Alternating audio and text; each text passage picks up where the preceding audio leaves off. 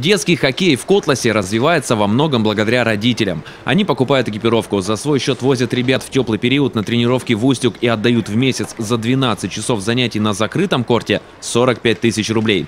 Также и поездки на соревнования. Все за свой счет. С приходом зимы траты уменьшаются. Родители самостоятельно заливают корт у стадиона «Салют», шлифуют его, наносят разметку, чистят снег. Детско-юношеская спортивная школа предоставляет площадку, освещение и раздевалку. Но в этот раз зимний сезон тренировок нормально начать не удалось. Приехали с Подмосковья, играли там в турнире э, с московскими командами и приехали сюда продолжить тренировочный процесс, а э, воды как бы нам заливать не дают. Краны в помещении салюта были опломбированы горводоканалом, в котором ждали, когда здесь будет установлен прибор учета. Это законное требование со стороны поставщика услуги. Но тренировочный процесс-то встал. Ребята просто бегают с клюшками по корту. С начала недели родители хоккеистов пытались добиться решения этой проблемы и залить корт водой, создать условия. Но в итоге им осталось только наблюдать, как Дюшс и горводоканал пытаются договориться.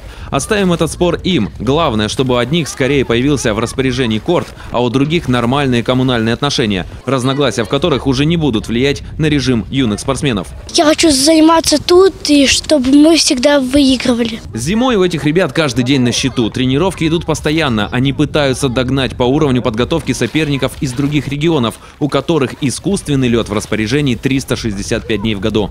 В Архангельской области Котловский фрегат уже одна из сильнейших команд, но такого противника, как бюрократический аппарат, у которого которого зимой льда не допросишься, они еще не встречали и пока проигрывают.